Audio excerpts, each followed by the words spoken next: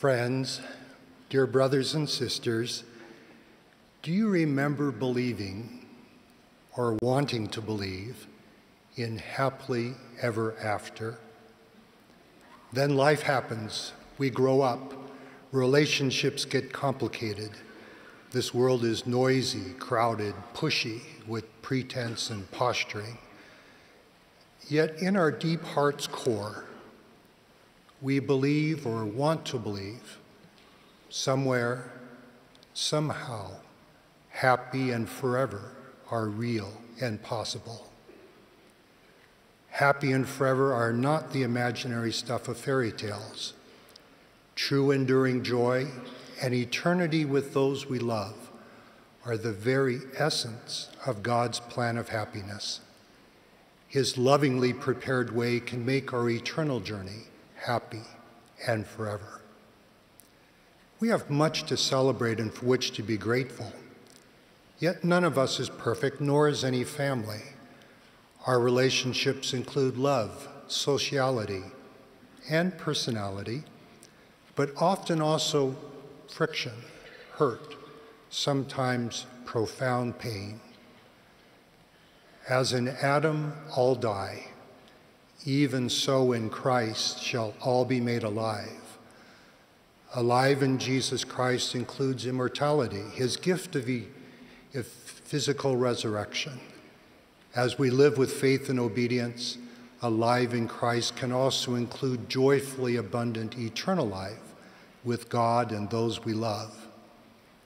In a remarkable way, the Lord's prophet is drawing us closer to our Savior including through sacred temple ordinances and covenants, coming closer to us in more places.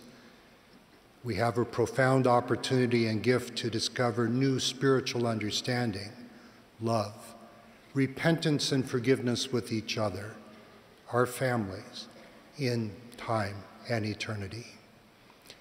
By permission, I share two unusually spiritually direct experiences told by friends about Jesus Christ, uniting families by healing even intergenerational conflict. Infinite and eternal, stronger than the cords of death, Jesus Christ's atonement can help bring peace to our past and hope to our future. When they joined the Church of Jesus Christ of Latter day Saints, my friend and her husband joyfully learned family relationships need not be until death do you part. In the house of the Lord, families can be united eternally, sealed. But my friend did not want to be sealed to her father. Quote, he was not a nice husband to my mother. He was not a nice dad to his children, she said. My dad will have to wait. I do not have any desire to do his temple work and to be sealed with him in eternity. For a year, she fasted, prayed, spoke a lot with the Lord about her father. Finally, she was ready. Her father's temple work was completed. Later, she said, quote, In my sleep, my dad appeared to me in a dream, all dressed in white. He had changed he said, Look at me. I am all clean. Thank you for doing the work for me in the temple. Her father added, Get up and go back to the temple. Your brother is waiting to be baptized.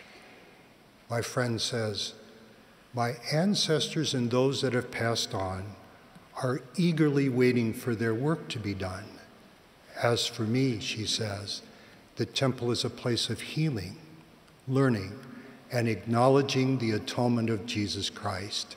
End quote. Second experience. Another friend researched diligently his family history. He wanted to identify his great grandfather. Early one morning, my friend said he felt the spiritual presence of a man in his room. The man wanted to be found and known in his family. The man felt remorse for a mistake for which he had now repented. The man helped my friend realize my friend had no DNA connection with the person my friend thought was his great grandfather. In other words, my friend said, I had discovered my great grandfather and learned he was not the person our family records said was our great grandfather. His family relationships clarified, my friend said, I feel at peace. I feel free. It makes all the difference to know who my family are. My friend muses, a bent branch does not mean a bad tree. How we come into this world is less important than who we are when we leave it. The Holy Scriptures and sacred experiences of personal healing and peace, including those alive in the spirit world, underscore five doctrinal principles. First, central in God's plan of redemption and happiness, Jesus Christ, through his atonement, promises to unite our spirit and body, never again to be divided, that we might receive a fullness of joy. Second, atonement, at one moment in Christ, comes as we exercise faith and bring forth fruits unto repentance. As in immortality, so in mortality. Temple ordinances do not of themselves change us or those in the spirit world, but these divine ordinances enable sanctifying covenants with the Lord, which can bring harmony with Him and each other. Our joy becomes full as we feel Jesus Christ grace and forgiveness for us. And as we offer the miracle of his grace and forgiveness to each other, the mercy we receive and the mercy we offer can help make life's injustices just. Third, God knows and loves us perfectly.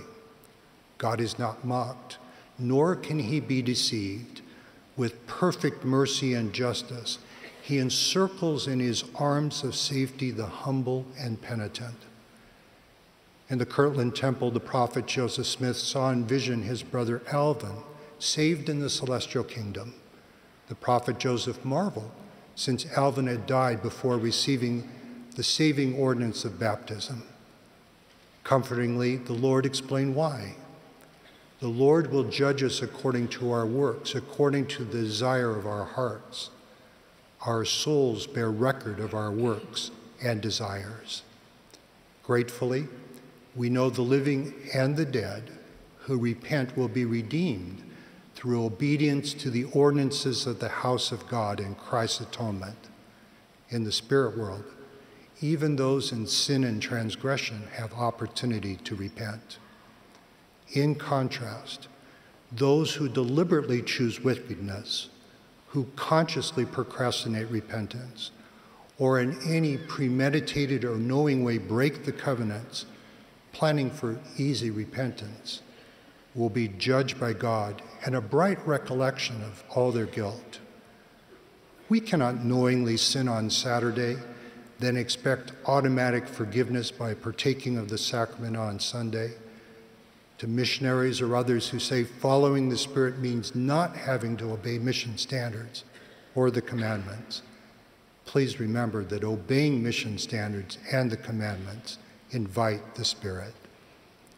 We should none of us put off repentance. The blessings of repentance begin as we begin to repent. Fourth, the Lord gives us divine opportunity to become more like Him as we offer proxy saving temple ordinances others need but cannot do for themselves. We become more complete and perfected as we become saviors on Mount Zion. As we serve others, the Holy Spirit of promise can ratify the ordinances and sanctify both giver and receiver. Both giver and receiver can make and deepen transforming covenants over time receiving the blessings promised Abraham, Isaac, and Jacob. Finally, fifth, as the Golden Rule teaches, a sanctifying symmetry in repentance and forgiveness invites us to offer others that which we ourselves need and desire. Sometimes our willingness to forgive someone else enables both them and us to believe we can repent and be forgiven. Sometimes a willingness to repent and an ability to forgive come at different times. Our Savior is our mediator with God, but He also helps bring us to ourselves and each other as we come to Him. Especially when hurt and deep and pain are deep, repairing our relationships and healing our hearts is hard, perhaps impossible for us on our own. But heaven can give us strength and wisdom beyond our own to know when to hold on and how to let go. We're less alone when we realize we're not alone. Our Savior always understands. With our Savior's help, we can surrender our pride, our hurts, our sins to God. However, we may feel as we begin, we become more whole as we trust Him to make our relationships whole. The Lord, who sees and understands perfectly, forgives whom He will. We, being imperfect, are to forgive all. As we come to our Savior, we focus less on ourselves. We judge less and forgive more. Trusting His merits, mercy, and grace can free us from contention, anger, abuse, abandonment, unfairness, and the physical and mental challenges that sometimes come with the physical body in a mortal world. Happy and forever do not mean that every relationship will be happy and forever. But a thousand millennial years when Satan is bound may give us needed time and surprising ways to love, understand, and work things out as we prepare for eternity. We find heaven's sociality in each other. God's work and glory include bringing to pass happy and forever. Eternal life and exaltation are to know God in Jesus Christ, so through godly power, where they are, we shall be. Dear brothers and sisters, God our Heavenly Father and His beloved Son live. They offer peace, joy, and healing to every kindred and tongue to each of us. The Lord's prophet is leading the way. Latter day revelation continues.